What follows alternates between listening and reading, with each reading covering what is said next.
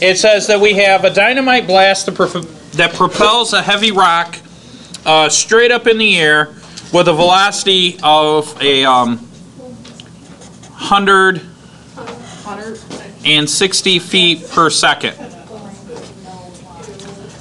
All right? So there's this big, huge blast, and they blow up some rock, and a rock goes straight into the air, straight up, um, 160 feet per second. And for our uh, for our purposes, they said that we can model the height of the rock as a function of time, which is equal to 160 uh, times t minus 16 t squared, where t is uh, time in seconds. And so this will give us the uh, position in feet uh, if, if we calculate time in seconds. So part A wants us to figure out how high does it go? Well, what do you notice about the equation? Well, the equation is a quadratic equation.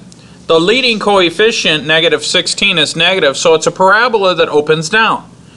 Well, if the parabola opens down, then the vertex is going to be the maximum height. So if this models the height of the object, and I want to be clear on that, we're going to get a parabola that looks like this. Where the x value is actually the time and the y value is the feet, how high it goes, all right? Does that make sense? So we're used to seeing it in terms of x, y, but really, really this is going to be t and s, position over time. And since this is a quadratic that opens down, then if we find the vertex, then that's the maximum height. Now here's the thing. How do we do that with calculus? Well, what I want to notice is that at the vertex, my tangent line is horizontal, so that means that s prime of t is equal to what? Remember that s prime is the slope of the tangent line, and if the tangent line is horizontal at the vertex, Zero. yeah, so this is equal to zero. So to find the maximum height using calculus, what I would do is I would take s prime of t and set it equal to zero. So what is s prime of t? Well, the derivative of s of t is going to be 160 minus 32t. So now to find when this equals zero, I'm going to say zero is equal to 160 minus 32t. I get negative 160 equals negative 32t. Divide both sides by negative 32. And I get t is equal to what? What's that? 5? How many times does that go into that? 5? Uh, is it? Yeah. Five, yeah. Is it? Yeah. Okay. So 5. Now what does that mean? That means after 5 seconds, this will reach the maximum height. Right? What is the maximum height? Because that's the question that they're asking us. Well, how do I find the maximum height? Grab it. Turn it on. But yeah, I've got to plug it in. Uh, one thing I want to point out, what is the derivative of a position function? What? What does this represent? The position point, The velocity, right? If this is my position, and I take the derivative of the position equation, then I get the velocity equation. So when t equals 5, in other words, at 5 seconds, what is the velocity of the object in the vertical direction? Well, think about it. This rock goes up in the air, goes up in the air. It starts at 160 feet per second. Just as it reaches the maximum height, what is its velocity? Nothing. Yeah, so our velocity in the y direction is equal to zero. So when we take the derivative and set it equal to zero, what we're really trying to figure out is what is the velo, when does the velocity equal zero? That occurs at five seconds. To find the height, I need s of five.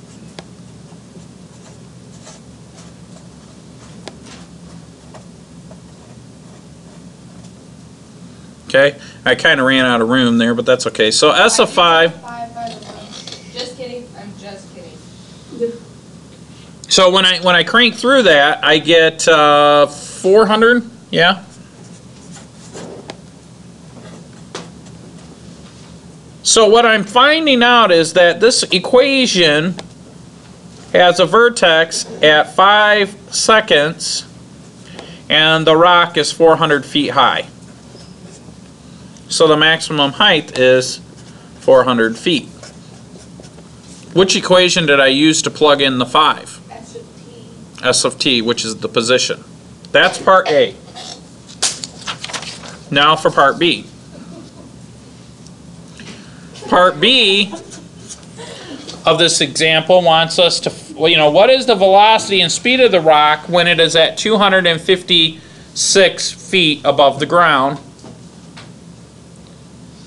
on its way up and on its way down? So what I need to know is when S of t equals 256. Now why do I need to know that? Because I want to know when the rock is at 256 feet. Now it's a parabola and so this graph is the position over time and so what I'm looking for is when this graph is equal to 256 feet. Well, I'm going to say 256 is equal to 160t minus 16t squared because that's the equation of position. And I am curious at what time that position is going to be 256. Me too. So what I want to do is, are all these factorable by 16? Uh, sure, sure. If we really wanted to. So what's 256 divided by uh, 16? Um, Isn't it just 16? sixteen. Sixteen. Wow, look how that works. And then I get 10t minus t squared. Now what I'm going to do over here is I'm going to factor out a t and I get t times 10 minus t is equal to 16.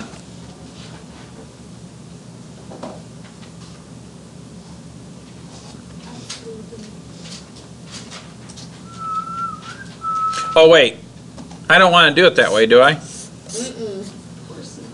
Let's just move the let's move the 16 over here and I get negative. I get negative, oh, you guys started your giggling, made me screw up here. Zero equals uh, negative t squared plus t, 10t minus 16.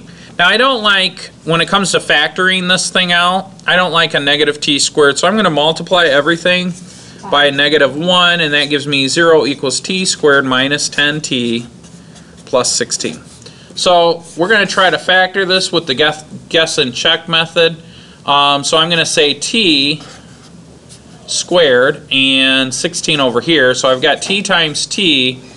Now I need two numbers that when I multiply them together, they give me a positive 16, but when I add them up, they give me a negative 10. Negative negative eight. Negative 2 and negative 8. You guys must have had an amazing pre-calculus teacher. He's probably handsome too. So what we figured out was, what we figured out is that if I take t minus 2 times the quantity t minus 8, I'll get this quadratic here. So we factored it. So this occurs when t equals 2 and t equals 8. So now, just to kind of recap, we're not even close to done. Good. All right? So, yay. Um, does it wanna be? We're figuring out the times in which our rock is at 256 feet. So our rock goes up in the air, and at two seconds, it's at 256 feet. It still continues to travel to 400 feet, and then on its way back down, eight seconds after it was initially launched, it's at 256 feet again. Now the question was, how fast is it going? What is the velocity? 256. Derivative. Yeah, so now what I've got to do is I've got to figure out what the speed is at the times 2 and 8 seconds. So we did all that work just to find the time. So my derivative is the velocity. So the velocity of this thing is s prime of t, which we said was 160 minus 32t. So I've got to do s prime of 2, which is 160 minus 32 times 2. 160 minus 64 is, what is that, 96? Is that what that is? If you want it to be. I think that's what it is. Yeah, Yes. 96. 96. So now what did I just figure out? What does the 96 represent? The velocity. Which is 96 feet. Per second. 96 feet per second. Now, that's on the way up. Anybody want to take a stab at what they think it will be, the speed on the way down? Negative 96. What? Yeah. God, I can't write and talk and think at the same time today. Can you breathe? Are you breathing? You gotta Don't make sure you're breathing. He's not breathing. No. What's 32 times 8? 240 plus 16, 256.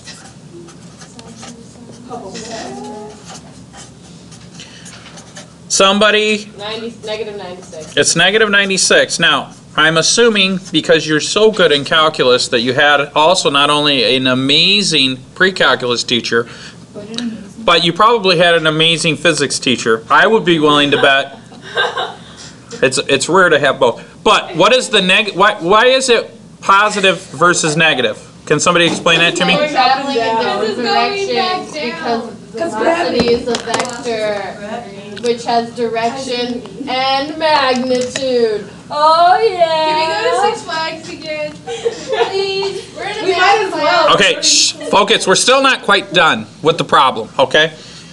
But yes, as, as uh, my wonderful students has pointed out, is that velocity is a vector and it has direction and magnitude. So the magnitude is 96. This one is going in the positive direction up.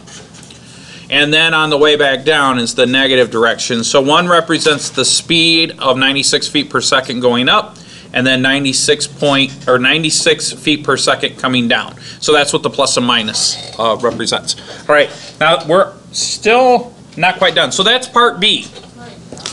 Now for part C. So remember, we're getting all this information from. We're getting all this information from this here, right? From this original equation. Got it. So it says, what is the acceleration of the rock at the time during its flight after the blast? What is the acceleration of the rock at any time? All right, so now let's recap what we've done. We said, and I'm going to write this on a separate sheet of paper. We said that the position of the rock is modeled as S of t which is 160t minus 16t squared. So that gives us the position of the rock. Then we said that if we took the derivative of that, that would be the rate of change or the change in position. And that is the velocity, which was 160 minus 32t. So that's the velocity. So acceleration is the rate of change of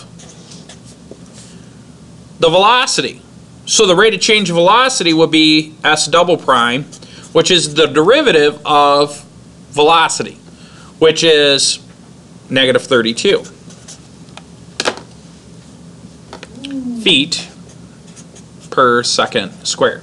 So when, when you guys took physics from that amazing physics teacher, who was handsome and intelligent and wise and humble, And a wizard. and a wizard. Um, we we we uh, we we learned that 9.8 meters per second squared was the acceleration due to gravity, but now we have feet per second squared. Hey, if you were to convert that to meters per second squared, what do you think 32 feet per second? That's 9.8 meters. 9.8, that's what I meant. So this is the acceleration due to gravity, which is what we would expect Because of Newton and Yeah. Yep, because of Newton and apples. Yeah, oh. Oh. That's it for part C. Okay, part D. Uh, part, what? Part D. Yep, so now, There's always. You know problem's not complete without part Z. when does, I'm recording, when does the rock hit love Monday. the ground? I feel like you need to like tweet me. Shh, guys, don't, don't lose focus, we're almost done, this is quick. So now, when is the, when is the rock gonna hit the ground? Oh, a- and, I think they're talking about time, so when will this thing hit the ground? After it's done. Good one, Steph. After the, well, because if, so if we take the time that it takes for the, um, rock to go up, then Mhm. we just add that to the time it takes to hit and go down. Yeah, that's, that's, that's, that's the easy way to do it. So what she's saying is, two times the time it goes up, which we said was five seconds. Remember, we said that to reach its maximum height, it took five seconds? And so it should probably take five seconds to come down because the acceleration is always gonna be negative thirty-two. And she's right, it, it it would take ten seconds. But now, how could I, how could I verify that algebraically? And you're like, no, Mr. Adams, I don't want to accept it, but um, I don't want to verify. We have to say 10 is equal to the position. Or not 10.